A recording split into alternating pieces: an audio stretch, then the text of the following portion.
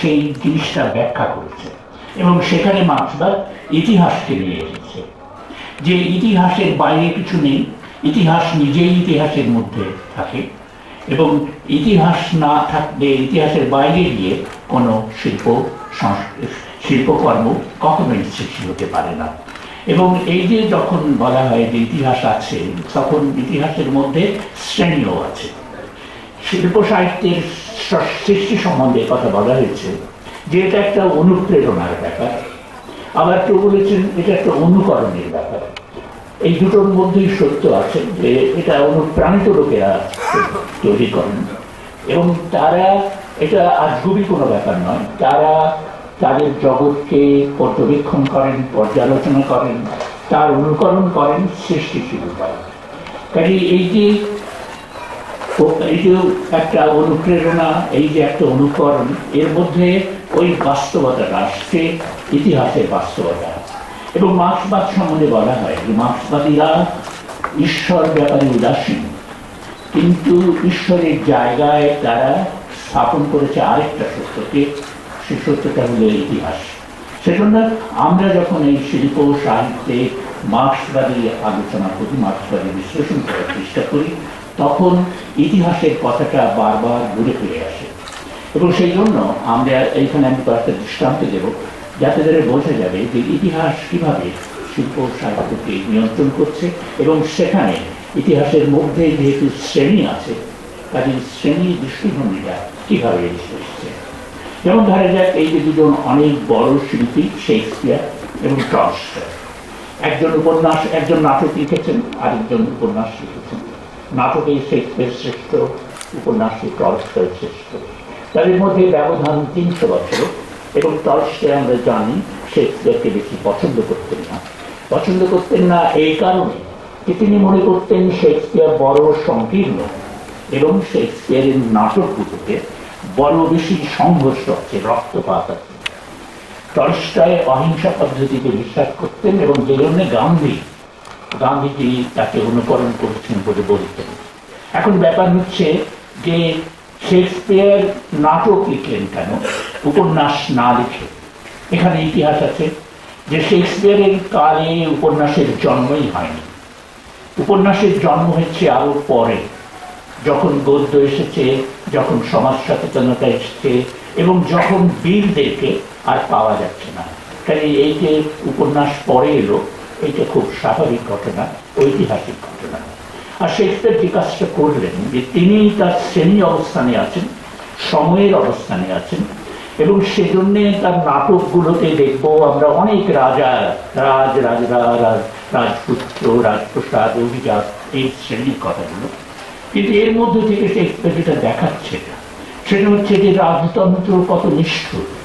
এটি দুটো তার শ্রেষ্ঠ নাটক, হ্যামলেট এবং কেঙ্গিয়া এই দুটোর মধ্যে শেক্সপিয়ার দেখিয়েছেন যে রাজবাড়িগুলো এবং রাজের সেখানকার যে রাজনীতি, সেখানকার যে ষড়যন্ত্র, সেটা মানুষকে কেমনভাবে বিচ্ছিন্ন করে এবং এই যে এই নায়ক নায়িকাদের বিচ্ছিন্ন করে, তাদের জীবনে কীরকম পরিণতি নিয়ে আসে, কীরকম যন্ত্রণা নিয়ে এসে কীভাবে তারা মৃত্যুবরণ করে।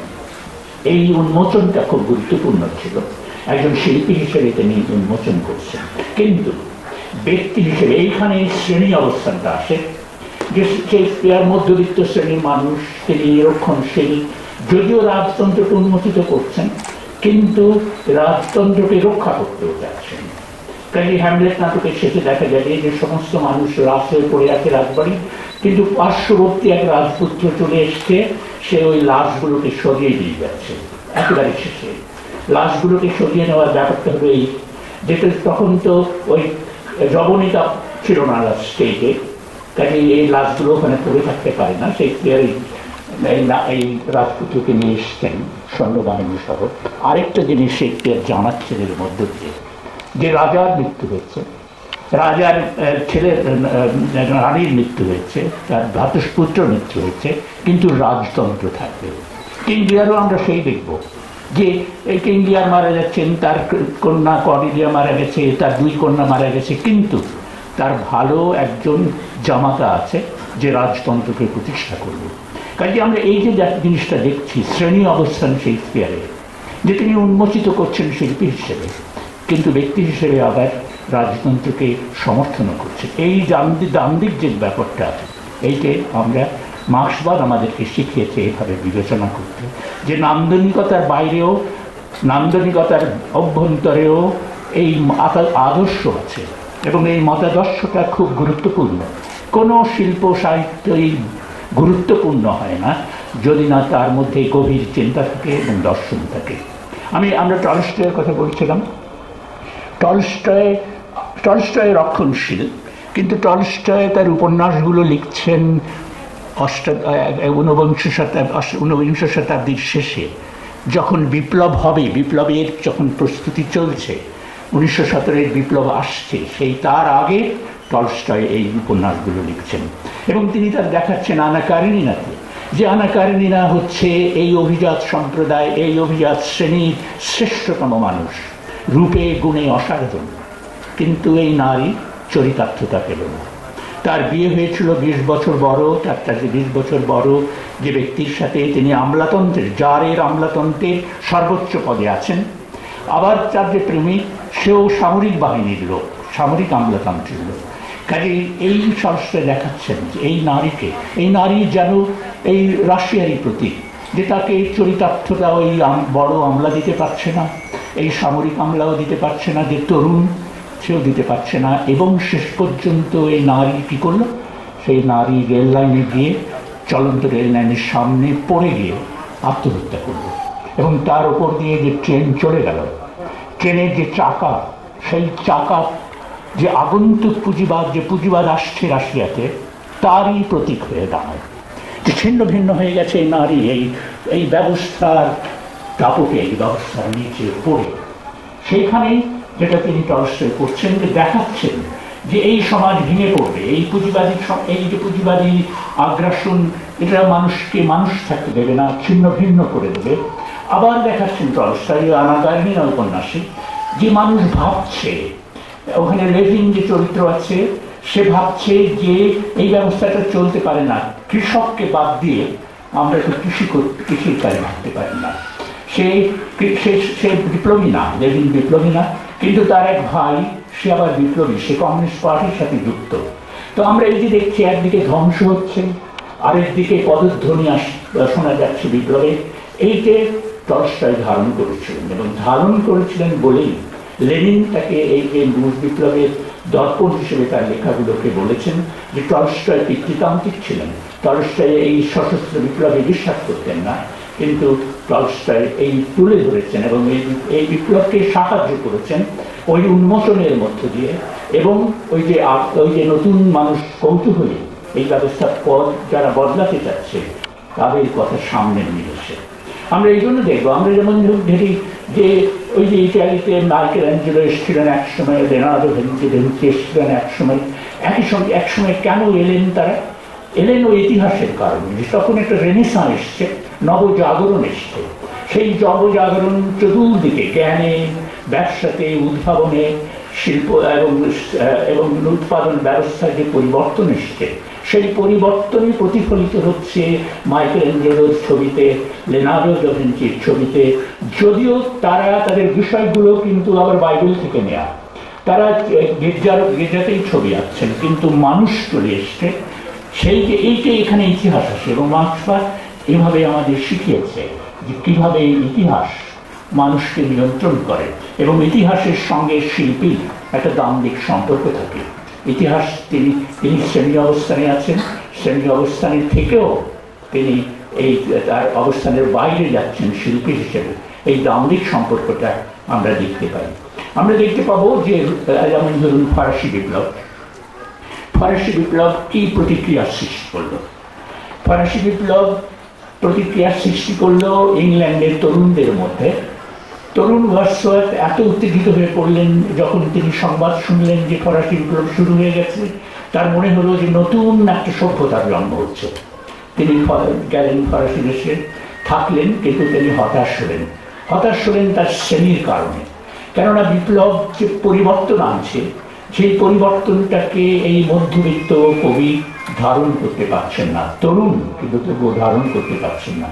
আমরা দেখছি যে তখন এডমন্ড বাগ যে এডমন্ড বাক আমেরিকার যে স্বাধীনতা সংগ্রাম তার সমর্থনে বক্তৃতা করেছেন পার্লামেন্টে, যিনি ওয়ারেন হেস্টিংসের যে দুর্নীতি তার বিরুদ্ধে বলেছেন পার্লামেন্টে, সেই ওয়ারেন হেস্টিংস এই ফরাসি বিপ্লবের বিরুদ্ধে দাঁড়াচ্ছেন বাড়ছেন এইখানে দেখা যায় যে শ্রেণির শ্রেণির সীমা যে এর বাইরে তিনি যেতে পারছেন না। বিপ্লব খালের ওই পারে, ইংলিশ চ্যানেলের ওই পারে বিপ্লব অপেক্ষা করছে। সে এসে যাবে এবং এখানে সমাজ বিপ্লব ঘটবে। সেই জায়গাটাকে তিনি গ্রহণ করতে পারছেন না। এই এইভাবে ইতিহাস নিয়ন্ত্রণ করে, প্রভাবিত করে শিল্পকে এবং শ্রেণির যে অবস্থান, সেই অবস্থানটা এইভাবে প্রতিফলিত হয় চেতনার মধ্যে, আদর্শবাদের মধ্যে। আমরা ওয়ার্সের কথা আবার দেখব। পুঁজিবাদকে দেখে ভয়ঙ্কর ভয় পেয়ে গেছেন। ওয়ার্সার দেখছেন যে পুঁজিবাদ আসছে এবং পুঁজিবাদে কৃষক গ্রাম থেকে উৎপাটিত হয়ে শহরে আসছে, লিভারপুল শহরে এসছে ম্যানচেস্টারে এসছে, সে শ্রমিক হচ্ছে, সে বস্তিতে থাকছে, তার মানবিক মর্যাদা নেই। এই দুঃখে তিনি কাতর হচ্ছেন কিন্তু এ থেকে মুক্তির কি উপায় সেইটা তিনি জানেন না। তিনি বলছেন, প্রকৃতির কাছে ফেরত যাও। কিন্তু প্রকৃতির কাছে কবি ফেরত যেতে পারেন না। কবি ও প্রকৃতির কাছে তো উৎপাদন ব্যবস্থা ফেরত যেতে পারে না। এইটা হচ্ছে সীমা, যেখানে শ্রেণি তাকে আবদ্ধ করে রেখেছিল এবং ওয়ার্সওয়ার্থ বিপ্লবী ছিলেন। ওয়ার্সওয়ার্থ বলেছেন যে, কবিতা লিখতে হবে সাধারণ মানুষকে নিয়ে। ওয়ার্সওয়ার্থ বলেছেন, কবিতা লিখতে হবে সাধারণ মানুষের ভাষাতে। কিন্তু এই বৈপ্লবিক চেতনা সত্ত্বেও তিনি এর বাইরে যেতে পারছেন না। এবং সেইখানে দেখা যাচ্ছে যে কবিতার বিষয়, কবিতার ভাষা যে পরিবর্তন এলো, তাতে কবিতার লাভ হলো, সাধারণ মানুষের লাভ হয়নি। কেননা সাধারণ মানুষ তো কবিতা পড়েনি। সেই সেই সত্য কিন্তু বড়।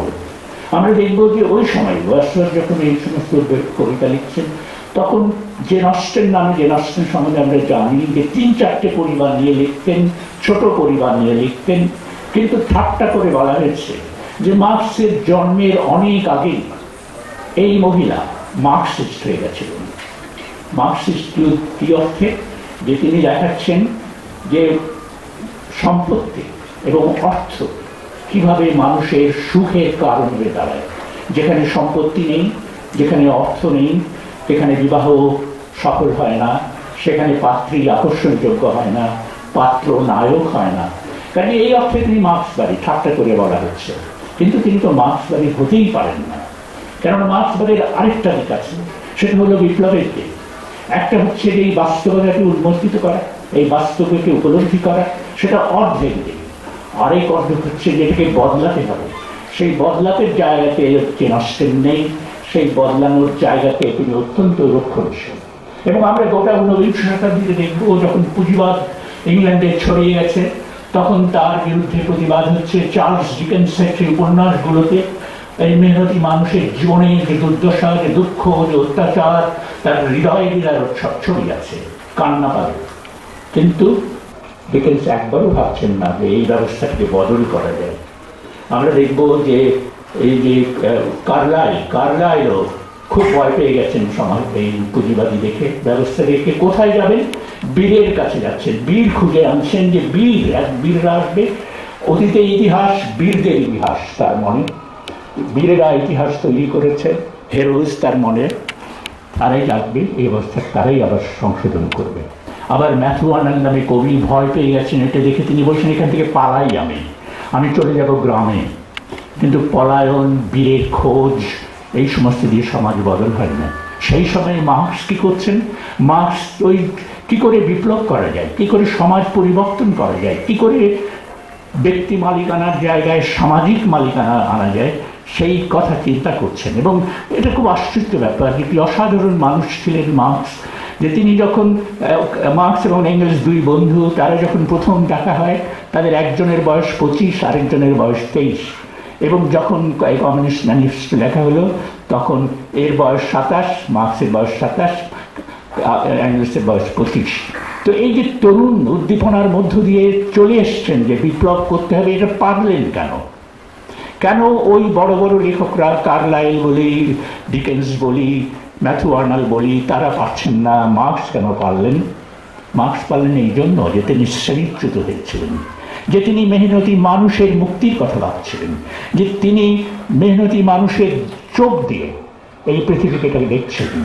কেবল যা দেখছিলেন অন্যরাও, কিন্তু তার দেখার সাথে অন্যের দেখার তফাতে এখানে, যে তিনি দেখলেন মেহনতি মানুষের চোখ দিয়ে এবং বুঝলেন যে এটা এই এই ব্যবস্থা অন্যায়, তার যে ক্রোধ, যার যে ঘৃণা, সেই সমস্ত ক্রোধ এবং ঘৃণাই তাদেরকে এই দুই তরুণকে পরিচালিত করেছিল।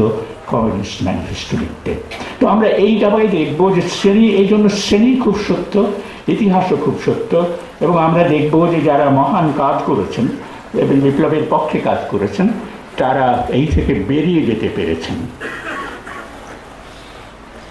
আমরা এই যে বিংশ শতাব্দীতে চলে আসি, বিংশ শতাব্দীতে প্রথম বিশ্বযুদ্ধটা হলো, সেই সময়ে প্রথম বিশ্বযুদ্ধের সময় উনিশশো চোদ্দ সালে যুদ্ধ হলো এবং উনিশশো সতেরোতে রুশ বিপ্লব হলো। এই যে যুদ্ধ, এই যুদ্ধ ইউরোপকে ধ্বংস, নানান বিপর্যস্ত করেছে, অর্থনৈতিক বিপর্যস্ত করেছে, খ্রিস্টান ধর্মে আস্থা হারিয়েছে, মানুষ মানুষের মনুষ্যত্ব নস্বাত হয়ে গেছে। এইটা তারা দেখছে। কিন্তু আবার যে রুশ বিপ্লব হয়েছে, এইটা তারা দেখতে পাচ্ছে না। ওইখানে যে আশা আছে, এই যে, এই এই যে যুদ্ধ, ধ্বংস, আবার ওই যে সৃষ্টি সেই রুশ বিপ্লবের সেই সেই বিপ্লবের সত্যটা তারা দেখতে পাচ্ছে না। এবং আমরা সেজন্য দেখব যে তখনকার সাহিত্যে, আমি ইংরেজি সাহিত্যের কথায় বিশেষভাবে দৃষ্টান্ত হিসেবে দেখাচ্ছি, যে তখনকার সাহিত্যের প্রতিক্রিয়াশীলতা কীভাবে চলে এসছে। বিপ্লবের এই সম্ভাবনা দেখেও তারা ভয় পেয়েছে, আবার ওদিকে যুদ্ধ দেখেও তারা বিধ্বস্ত হয়েছে। সেজন্যে দেখা যাবে, এই যে ডিএইচ লরেন্স, এত বড় লেখক তিনি ভয় পেয়ে এই তিনি এই বিপ্লবের, তিনি বিপ্লবের লাইনে যাবেন না, তিনি চলে যাচ্ছেন এই আদিমতার দিকে। আদিম ব্যবস্থা, আদিম ইনস্টিং আদিম রক্ত সেই জায়গাতে। আমরা দেখছি টিএস এলিয়েট খুবই বড় কবি, তিনি চলে যাচ্ছেন ধর্মের কাছে। আমরা দেখছি ডাব্লিউ বিএস বড় কবি, তিনি চলে যাচ্ছেন জাতীয়তাবাদের কাছে। আমরা দেখছি এজরা পাউন্ড বড় কবি, তিনি চলে যাচ্ছেন ফ্যাসিবাদের কাছে। কাজে এই যে ভীত ভীত মানুষগুলো সেই মানুষগুলো এক জায়গায় যাচ্ছে আর লেনিন এই যুদ্ধের ভেতর থেকেই ওই বিপ্লব সংগঠিত করছেন। এইখানেই হচ্ছে পার্থক্য যে যেখানে যারা এরা বিপ্লব করছেন, ভয় তো পাওয়া দূরের কথা, এটাকে ব্যবহার করে বিপ্লব করছেন আর এরা, এই শিল্পী সাহিত্যিকরা, এই কেবল কেবল যে হতাশা সরাচ্ছেন তা না প্রতিক্রিয়াশীল সরাচ্ছেন প্রতিক্রিয়াশীলতাকে নিয়ে আসছেন।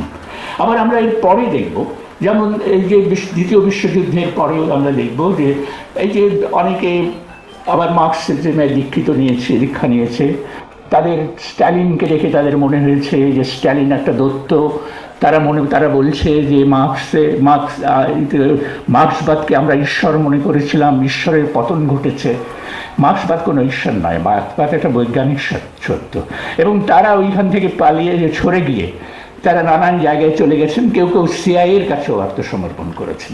এবং জর্জ অরওয়েল যার কথা আমরা জানি, যে জর্জ ওয়েল একশো সমাজতন্ত্রে বিশ্বাস করতেন, তিনি ওই স্পেনের যে গৃহযুদ্ধ হচ্ছিল, সেই গৃহযুদ্ধের সময় রিপাবলিকানদের পক্ষে, এই গণতন্ত্রীদের পক্ষে যুদ্ধ করতে গিয়েছিল। কিন্তু তার সেখানে গিয়ে মনে হলো যে স্ট্যালিন লোকটা খুব খারাপ, এবং স্ট্যালিন স্বৈরতন্ত্র ব্যবস্থা করছে।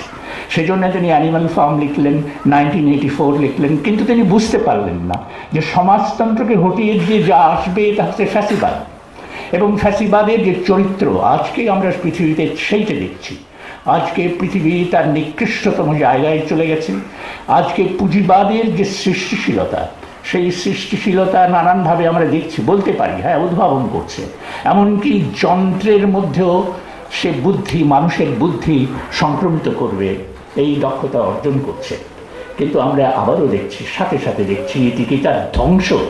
এই রকম ধ্বংসের ক্ষমতা তার কখনোই ছিল না। এইভাবে মারণাস্ত্র তৈরি করে, এইভাবে মাদক ছড়িয়ে দিয়ে সে পৃথিবী এবং প্রকৃতিকে ধ্বংস করে, প্রকৃতির যে, প্রকৃতির ওপর হামলা করে, লুণ্ঠন করে, এই যে এই যে তার উৎপাদন যে যে সৃষ্টিশীলতা, সেই সৃষ্টিশীলতা চাইতে অনেক ভয়ঙ্কর হচ্ছে তার এই ধ্বংসাত্মক প্রবৃত্তি। এবং আজকে পৃথিবীতে দাঁড়িয়েছে যেটা, যে বৈজ্ঞানিকরাই বলছেন, স্টিফেন হকিং বললেন, যে এই যেরকমভাবে চলছে, সেভাবে চললে এই পৃথিবী, এই গ্রহ মানুষের জন্য বসবাসের উপযুক্ত থাকবে না। এই উষ্ণ হচ্ছে এই বিপর্যস্ত হচ্ছে, দারিদ্র বাড়ছে, নেশা বাড়ছে, ধ্বংস বাড়ছে। সেটি এই জিনিসটা অরওয়েলরা দেখতে পেলেন না, এবং সেইখানে আবারও ওই শ্রেণি আসে, যে তার মধ্যবিত্ত শ্রেণির ভেতর থেকে তিনি, এর এর বাইরে যেতে পারেননি। আমি সেই জন্য আমি এই এই জায়গাতে পরে আমি ধর আমার মনে হয় যে আমার মনে হয় যে এই আমার মনে হয় যে বাংলা সাহিত্যে এবার আসি। এই, এটা তো বললাম, এটা অনেক বড় বিষয়, আমি সংক্ষিপ্ত করার চেষ্টা করছি। এখন বাংলা সাহিত্যে আমরা যেটা দেখব, সেটা হলো যে এই যে বাংলা আধুনিক বাংলা কবিতা যেটা তৈরি হলো সেটা সেটা তৈরি হলো ইংরেজদের অধীনে আধুনিক গদ্য তৈরি হলো ইংরেজদের অধীনে। এবং ভারতচন্দ্র যে ধরনের অশ্লীলতা বলা হয়, যে ধরনের কৌতুক বলা হয়, সরবরাহ করেছেন, সেটা স্থূল মনে হয়েছে। এই নতুন মধ্যবিত্তের কাছে, যে মধ্যবিত্ত ইংরেজি শাসনে তৈরি হয়েছে, কিন্তু ভারতচন্দ্রের লেখার মধ্যে যে জবনিবেশাল ছিল, যে আরবি ফার্সি শব্দ ছিল সেইটে তারা তাড়িয়ে দিচ্ছে। তাড়িয়ে দিয়ে মধ্যবিত্ত একটা ভাষা তৈরি করছে, ঈশ্বরগুপ্ত যে ভাষা, কবিতার ভাষাটা তৈরি করলেন এবং ঈশ্বরগুপ্ত খুব ভালো কবিতা লিখলেন, ঠাট্টা ঠাট্টা কৌতুক করলেন ইংরেজি আনা সাহেবি আনা বাঙালি আনা সব কিছুকে ঠাট্টা করলেন। কিন্তু বঙ্কিমচন্দ্র যেটা ধরতে পেরেছিলেন যে সমস্তটা হচ্ছে ইয়ার্কি, যে এত প্রতিভা ইয়ার্কিতে শেষ হয়ে গেল। যে ইয়ার্কি করছে ইয়ার্কি করে ইয়ার্কি করা মানে হচ্ছে প্রতিক্রিয়াশীলতাকে প্রশ্রয় দেওয়া। ইয়ার্কি করা মানে হচ্ছে একে সহ্য করা, একে হাসি ঠাট্টার ব্যাপার করা। ব্যাপারটা হাসি ঠাট্টার ছিল না। তখন সিপাহী অভ্যুত্থান হচ্ছে এবং সিপাহী অভ্যুত্থানের সময়ে ঈশ্বরগুপ্তরা সিপাহীদেরকে ব্যঙ্গ করছেন ইংরেজির পক্ষে দাঁড়িয়েছেন। হাস্যকৌতুক ঠাট্টা মস্কারা সব চলছে, কবিতা সুন্দর লিখছেন, কিন্তু কাজটা হচ্ছে বিপ্লব বিরোধী কাজটা হচ্ছে ইংরেজির পক্ষে, কাজটা হচ্ছে এই বিপ্লবী যে অভ্যুত্থান হচ্ছে তাকে হাস্য, হাস্যকর করে তোলা। আবার আমরা দেখব যে বাংলা গদ্য যে তৈরি হলো, এই সময় তৈরি হলো, যে শ্রেণি তৈরি করল, সেটা হচ্ছে ওই মধ্যবিত্ত শ্রেণি কোম্পানির শাসনে তৈরি হচ্ছে সেখানে ব্রাহ্মণ পণ্ডিতরা আছেন, ফোর্ট উইলিয়াম কলেজের পৃষ্ঠপোষকতা আছে এবং সেই সেই যে গদ্য, সেই গদ্য, কৃত্রিম গদ্য, যে শ্রেণি, যে এই যে কৃত্রিম মধ্যবিত্ত, তার হাতে যে গদ্য তৈরি হলো, সেটা কৃত্রিম গদ্য, চললে সেটাকে বলা হলো সাধু ভাষা। এবং সাধারণ মানুষ মানুষ থেকে অনেক দূরে সেই যে কৃত্রিমতা, সেটা গদ্যের মধ্যে রয়ে গেল। আমরা বলতে পারি যে ঠিক সেই সময় আমাদের লালন ফকির যে ভাষায় কবিতা লিখ, গান লিখছিলেন, সেটা আলাদা ভাষা। কিন্তু লালনের ভাষা তো কখনোই গদ্যের ভাষা হবে না, সাহিত্যের ভাষা হবে না। মফস্বলের লোক, কৃষি সমাজের লোক, পশ্চাৎপদ লোক, রাজধানীর লোকরাই তো নিয়ন্ত্রণ করবে। তারাই গদ্য তৈরি করেছে। আবার এটাও মানতে হবে যে লালনের যে গানের মধ্যে, সেই জনগণের জীবনের যে সংগ্রাম, সেই সংগ্রাম তো নেই, শ্রেণির সংগ্রাম তো নেই, কৃষকের যে কৃষকের যে শ্রম, তার কথা তো নেই। সেখানে তো আধ্যাত্মিকতা আছে। কাজে এই সমস্ত কিছু মিলে গদ্য ওইখানে চলে গেল এবং সেই গদ্য কৃত্রিম হলো। তারপরে এই গদ্যকে সরল করার চেষ্টা হয়েছে প্রমথ চৌধুরী, ধরুন, করেছেন। প্রমথ চৌধুরী করেছেন কিন্তু প্রমথ চৌধুরী গদ্যটা কিন্তু কেবল পোশাকের ব্যাপার না। গদ্যটা কিন্তু আবার ভেতরেরও ব্যাপার। সেই ভেতরের দিকে যদি আমরা যাই, তাহলে দেখব যে প্রমথ চৌধুরীর রক্ষণশীল এবং তিনি পরিবর্তন চাচ্ছেন না। গদ্যে পরিবর্তন আনছেন, ভেতরে পরিবর্তন আনছেন না। সেজন্য তিনি যখন রায়তের কথা লেখেন, তখন সেই রায়তের কথা, রায়তের দুর্দশার কথা লেখেন, কিন্তু জমিদারি ব্যবস্থা উচ্ছেদের কথা বলেন। এবং সেই কথাটাই সত্য বঙ্কিমচন্দ্র সম্বন্ধে। বঙ্কিমচন্দ্রের কথা বারবার আসবে, আসছে অসাধারণ শিক্ষিত, অসাধারণ শিল্পী। কিন্তু, এবং এই যে বঙ্গদেশের কৃষক, তার বিষয়ে যে ছবি তিনি দিয়েছেন, সে ছবি অন্য কেউ দিতে পারেনি। কিন্তু সমস্ত কথা করার পরে বলছেন যে, আম, এই চির এই জমিদারি প্রথা উচ্ছেদ হোক, এটা তো চাইতে পারি না। কেন চাইতে পারি না? তাহলে গোলযোগ দেখা দেবে। গোলযোগ দেখা দিলে কি হবে? আধুনিক সমাজ, বঙ্গ সমাজ ভেঙে পড়বে। অর্থাৎ আমাদের মধ্যবিত্ত শ্রেণি ভেঙে পড়বে। কাজেই ইংরেজকে, ইংরেজের ইংরেজকে, ইংরেজের সাথে এই ব্যাপারে সহযোগিতা করতে হবে। এবং সেজন্যের বঙ্কিমচন্দ্রের সমস্ত ইয়ের মধ্যে আমরা দেখব যে স্বাধীনতার জন্য অসাধারণ স্পৃহা, কিন্তু সাম্যের জন্য গভীর ভীতি। এই যে স্পৃহা, স্বাধীনতা চান আবার ভয় পান সাম্যকে। এই জায়গাটাই তিনি শ্রেণির প্রতিনিধিত্ব করছেন। এবং সেজন্যে ইংরেজ বিরোধিতা সেরে দিয়ে আনন্দ মঠে তিনি ওই যে দরিদ্র মুসলমান তাদেরকেই শত্রু বলে চিহ্নিত করলেন। ইংরেজকে উপকারী বলে চিহ্নিত করলেন এবং যুদ্ধ আর এখন দরকার নাই, কোম্পানির শাসন শেষ হয়েছে ইংরেজির শাসন চলে এসছে, এখন আমাদের, আমরা এখন এদের কাছ থেকে শিখব। এই যে আত্মসমর্পণ, সেই আত্মসমর্পণ তার শ্রেণির আত্মসমর্পণ এবং সেই আত্মসমর্পণের মধ্য দিয়ে সাহিত্য, শিল্প সেদিন আত্মসমর্পণ করেছিল। যেখান থেকে বেরিয়ে আসতে আমরা এখনও পেরেছি বলে মনে হয় না, ওই ধারাতে, ওই আত্মসমর্পণের কারণেই কারণেই সাম্প্রদায়িকতা এসছে, বিভাজন এসছে, শ্রেণি শ্রেণি বিভাজন, সাম্প্রদায়িক বিভাজনে পরিণত হয়েছে। ব্যবস্থা সত্য ছিল শ্রেণি, জমিদার এবং প্রজা সত্য হয়ে দাঁড়াল হিন্দু এবং মুসলমান। এবং সেই শিল্প সাহিত্য যে ক্ষতিকর হতে পারে, আমরা সেইখানে দেখলাম। আমরা সেই জন্য দেখলাম যে বঙ্কিমচন্দ্র বলছেন, আমরা সামাজিক বিপ্লবের অনুমোদক নই মধ্যবিত্তের কথা। এবং এই রকম সত্য, এই রকম স্পষ্ট এরকম সরল উক্তি আর কোনো মধ্যবিত্ত করেনি আমরা সামাজিক বিপ্লব চাই না। সামাজিক বিপ্লবে আমাদের খুব ক্ষতি হবে। এবং এই পরে আমরা দেখব যে আমরা সুরেন্দ্রনাথ দত্ত সুরেন্দ্রনাথ দত্ত পরে কত পরিশীলিত, কত আধুনিক এবং সেই আধুনিকতাটা, কীরকম আধুনিকতা শিখব আমরা? তিনি বলছেন যে, সহেনা সহেনা জনতা, সহেনা সহেনা প্রাণে জনতার জঘন্য মিতালি। জঘন্যতার মিতালি জঘন্য, সেটা প্রাণে সয় না। এই কথা তিনি বলছেন বিশ তিরিশের দশকে। যখন সোভিয়েত বিপ্লব বিপ্লব হয়ে গেছে, যখন পৃথিবী বদলে গেছে, জনতার তার সাথে এই তার সয় না, তার জনতার মিতালি, সেটা জঘন্য, সেটা তার প্রাণ কিছুতেই সহ্য করবে না। খুব পরিষ্কার উক্তি। কিন্তু এই পরিষ্কার উক্তিগুলোকে আমরা গ্রাহ্য করি না, আমরা তাদের শিল্প সাহিত্যের নান্দনিকতা দেখি, অবশ্যই দেখব। কিন্তু আমরা ভেতরের আদর্শ দেখব যে কোন আদর্শ প্রচার করছেন। এবং সেই জন্য আমরা দেখব যে সেকালে যারা মার্ক্সবাদী হয়েছেন, ওই বিশের তিরিশের দশকে, সেই সেই সময়ে আমরা দেখব যে তারা মার্ক্সকে এবং এলিয়েটকে, বিষ্ণুদেব, মার্ক্স এবং এলিয়েটকে একসাথে মেশাচ্ছেন। মার্ক্স আর এলিয়েট তো একসাথে যাবেন না। তাদের মধ্যে তো কোনো মিলনের কোনো জায়গা নেই। কিন্তু তারা একসাথে মেলাতে চাচ্ছেন সমন্বয় করতে চাচ্ছেন বিপ্লবের, বিপ্লবী মার্ক্সবাদী বলে নিজেকে ভাবছেন, কিন্তু বিপ্লবের পক্ষে দাঁড়াচ্ছেন না। এবং সেই যে এখানে রবীন্দ্রনাথের কথা আসবে, বা অবশ্যই আসতে হবে, এখানে মধুসূদনের কথা আসবে, এবং মধুসূদনের কথাটা আমি ভুলে গেছিলাম, একটু সংক্ষেপে বলি, যে মধুসূদন তো অসাধারণ ছিলেন, বৈপ্লবিক ছিলেন, শাহের হতে যে বাঙালি হয়ে গেলেন, নিজেকে যশোরের বাঙালি বলতেন, বাঙাল বলতেন, সব ঠিক আছে, এবং তার মেঘনাথবধ কাব্যে যে জাতীয়তাবাদীর যে আত্মক্রন্দন, যে আত্মচিৎকার আপনি শুনতে পাবেন যে এখানে যে পরাধীনতার বিরুদ্ধে যে যে একটা চিৎকার সেটা আছে।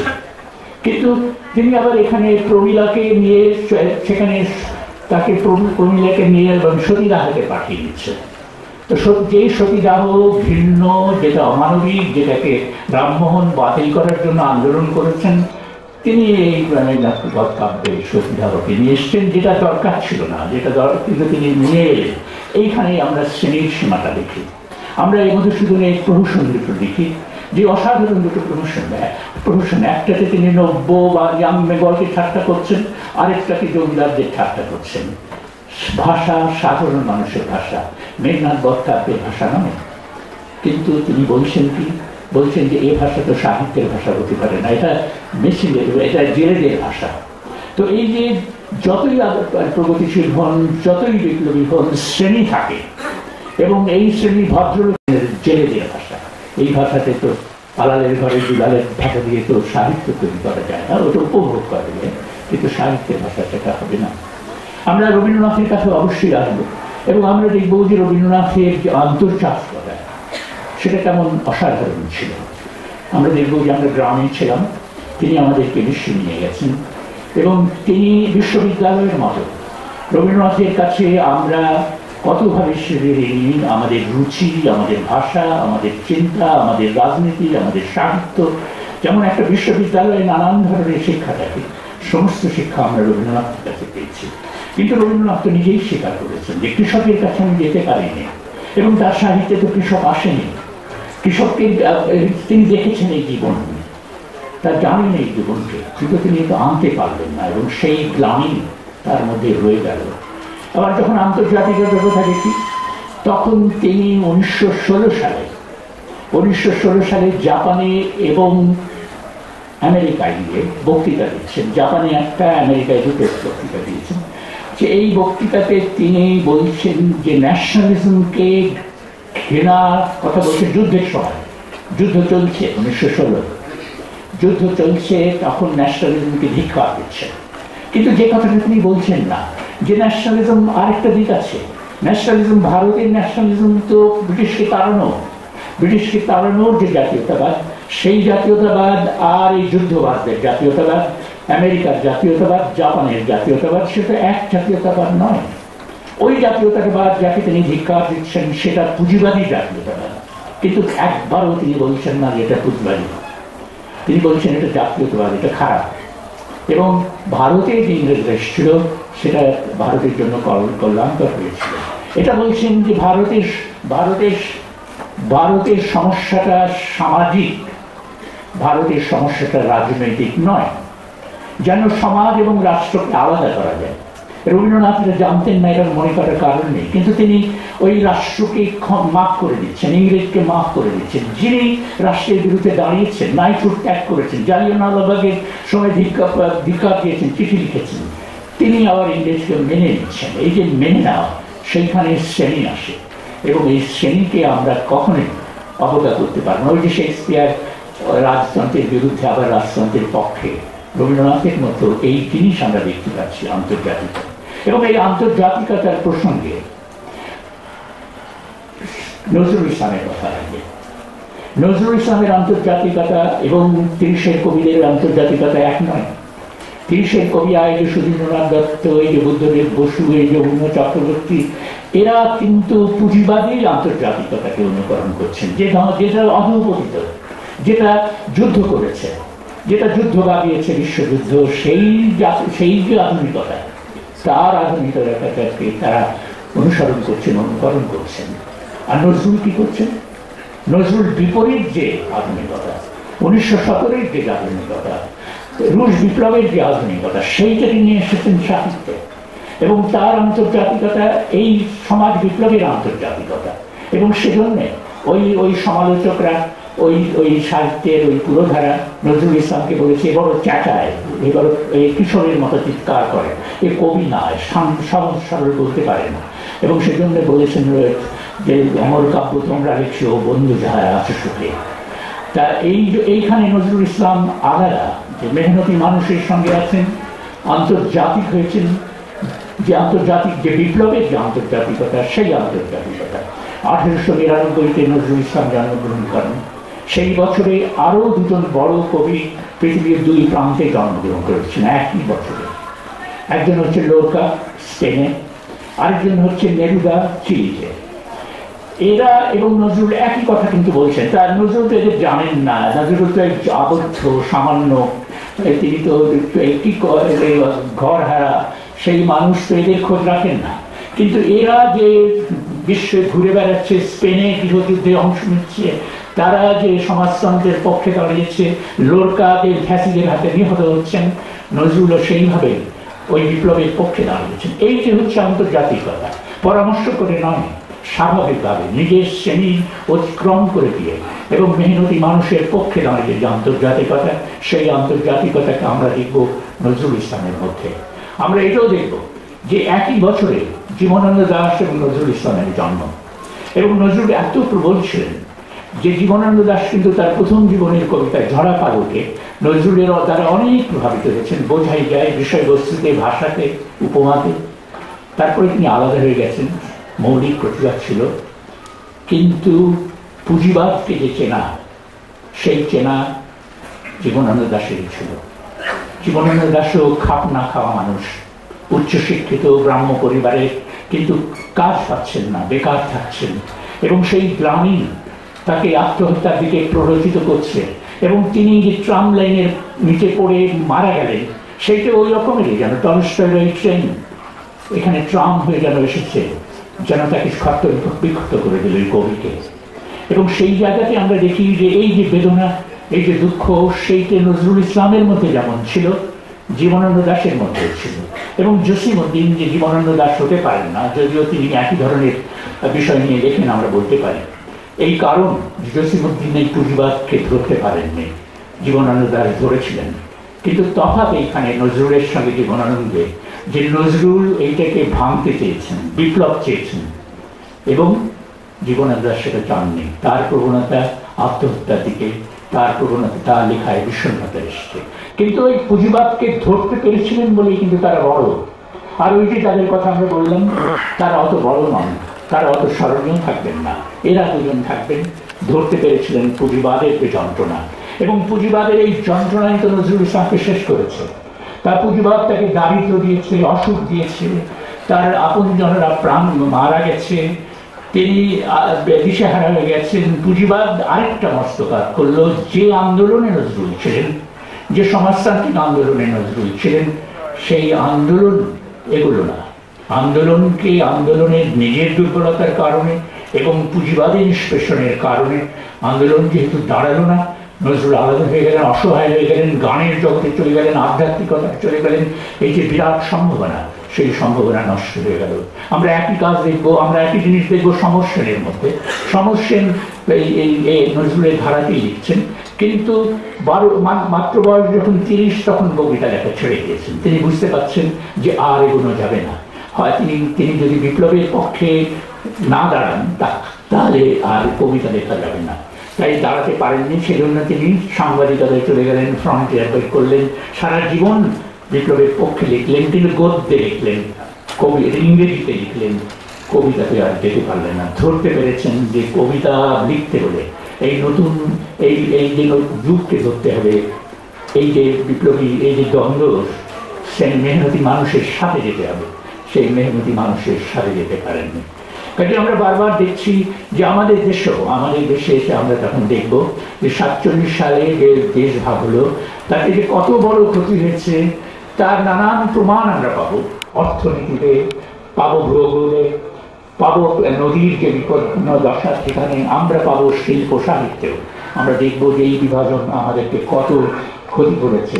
আমরা দেখব যে সেই সময় সেই সময় যে পাকিস্তানবাদী আন্দোলন ছিল, তার পাকিস্তানবাদী চেতনা ছিল, তার তার বিপরীতে বাঙালি ভাষা আন্দোলনের মধ্য দিয়ে, গড়ে উঠছিল, সেটাও বেশি দূর এগোতে পারেনি। এটা খুব সত্য। যেমন ধরুন, সৈয়দ অলিউল্লাহ যে লাল সাল উপন্যাস শিখলেন সাতচল্লিশ সালে, বয়স তখন তিরিশও হয়নি একটা অবিশ্বাস্য আশ্চর্য।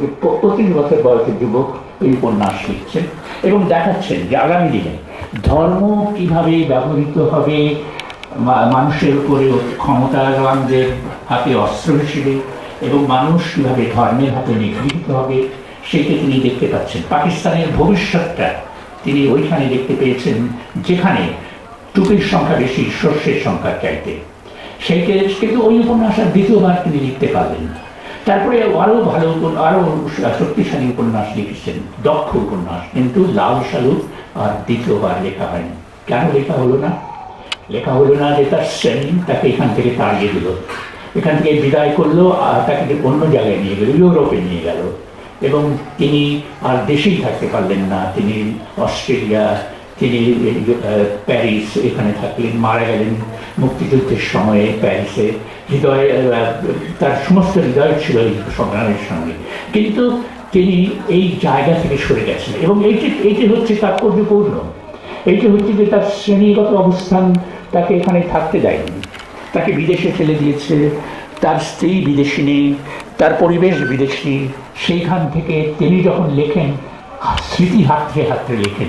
অভিজ্ঞতা থেকে লিখতে পারেন না।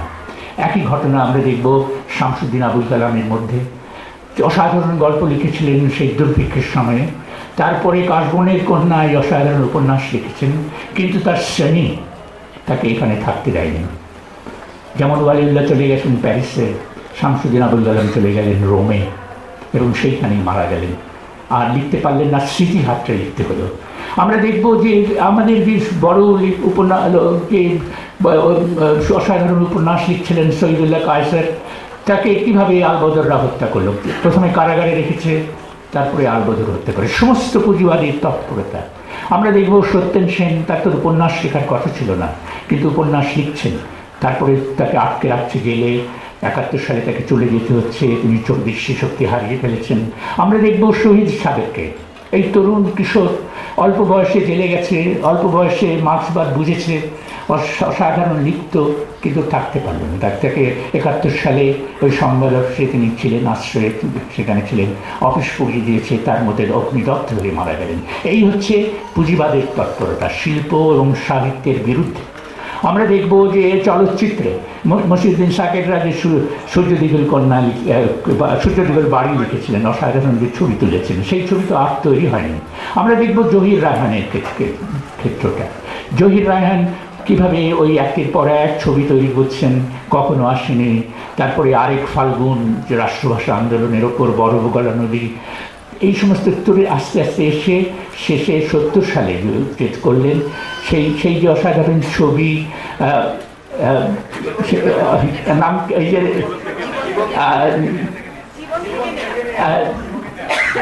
জীবন থেকে জীবন থেকে নাম ভুলে যাচ্ছে জীবন থেকে নেওয়া সেই অসাধারণ ছবি তৈরি করলেন।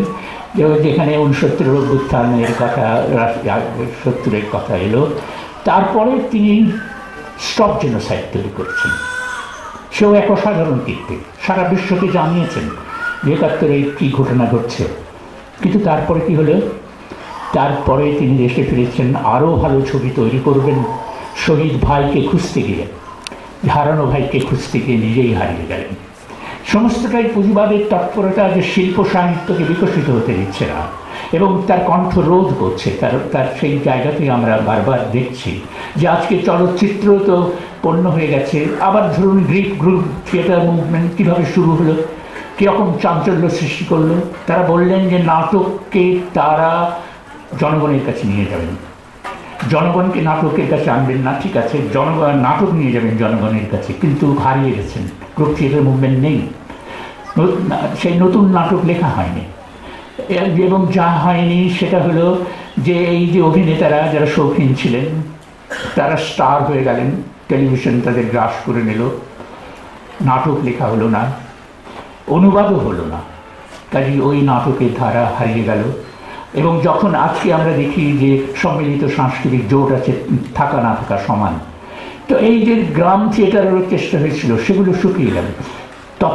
যে কথাটা আমি বলতে চাচ্ছি, সেটা হলো যে পুঁজিবাদ তার বর্বরতম তৎপরতা চালাচ্ছে এবং যেমন করে আমাদের আমাদেরকে শেষ করে দিচ্ছে নানানভাবে, তেমনি তেমনিভাবে পুঁজিবাদ আমাদের শিল্প সাহিত্যকে শেষ করে দিচ্ছে, সমস্তকে পণ্যে পরিণত করছে এবং যে কথাটা মার্ক্সবাদের খুব গুরুত্বপূর্ণ, সেটা ওই যে আদর্শ, ওই যে চিন্তা চিন্তা ছাড়া বড় স্বার্থ হয় না, এই মার্ক্সবাদী শিখিয়েছে আমাদেরকে। কিন্তু আজকে বাংলাদেশে চিন্তার কী অবস্থা? আপনি ধরুন কি অচিন্তনীয় ব্যবস্থা যে সাতাশ বছর ধরে। এই যে ঢাকা বিশ্ববিদ্যালয়ে কোনো ছাত্র সংসদ নেই, এটা ভাবা যায় যে এই হাজার হাজার ছেলে মেয়ে ঢাকা বিশ্ববিদ্যালয় নয়, সব পাবলিক বিশ্ববিদ্যালয় প্রাইভেট বিশ্ববিদ্যালয়, হাজার হাজার, লক্ষ লক্ষ হবে করা যায়। সেই মা, সেই ছেলে মেয়েরা কোনো সাংস্কৃতিক অনুশীলন নেই, গান নেই, নাটক নেই, প্রতিযোগিতা নেই, খেলাধুলা নেই, আবৃত্তি নেই। তারা কি করে সাংস্কৃতিকভাবে বিকশিত হবে? তাদের পঙ্গু করে রাখা হচ্ছে এবং জ্ঞান তারা গ্রহণ করতে পারছে না। জ্ঞানের কোনো চর্চা নেই এবং বিশ্ববিদ্যালয়গুলো কীরকম সন্ত্রাসের রাজত্ব হচ্ছে, যেমনটা আমরা আগে কখনো দেখিনি। আমাদের অভিজ্ঞতার মধ্যে নেই যে সাতাশ বছর ছাত্র সংসদ ছাড়া একটা বিশ্ববিদ্যালয় চলতে পারে। বিশ্ববিদ্যালয়ের ছাত্র সংসদের নির্বাচন উৎসব এবং ফলে, এবং যখন এই বিশ্ববিদ্যালয় প্রতিষ্ঠিত হয়, তখনকার স্মৃতি কথায় যারা লিখেছেন তারা বলছেন যে তিনটে মাত্র হল ছিল।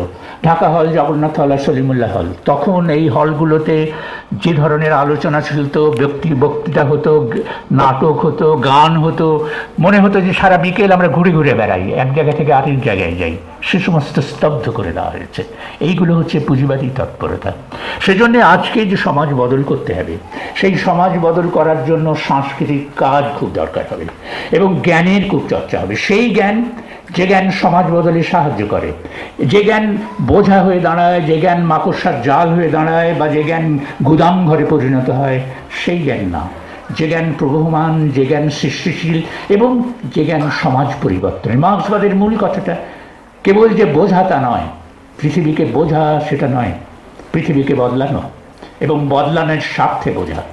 এবং সেই বদলানোর স্বার্থে সংস্কৃতি কর্মীদের যে কাজ আছে সংস্কৃতি কর্মীরা হৃদয়বান সংস্কৃতি কর্মীরা, সৃষ্টিশীল সংস্কৃতি কর্মীরা বুদ্ধিমান। এই যে হৃদয়, সৃষ্টিশীলতা, বুদ্ধি একত্র হতে পারে তাদের মধ্যে, সেইটা দিয়ে এই কাজকে এগোতে হবে, সমাজ বদলের কাজকে।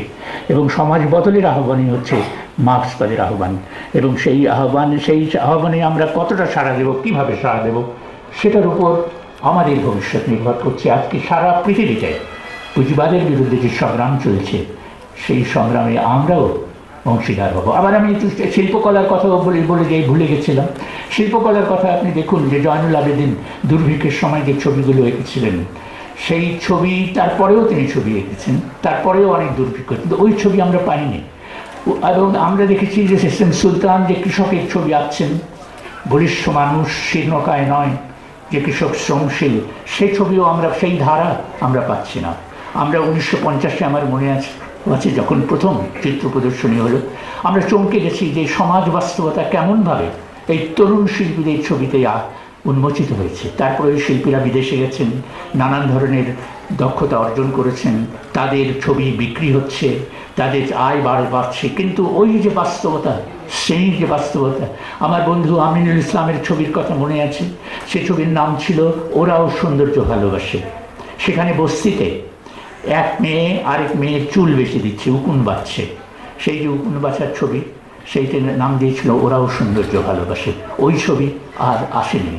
বস্তি আছে, বস্তিতে মানুষ আছে, কিন্তু আমাদের শিল্পী ওইখানে যেতে পারছেন না। সেইটে পুঁজিবাদের কারণে যেতে পারছেন না। শ্রেণি অবস্থানের কাছে যেতে পারছেন না। সেই জায়গাটাকে ভাঙতে হবে। ওই ভাঙাটাই হচ্ছে আমাদের কর্তব্য।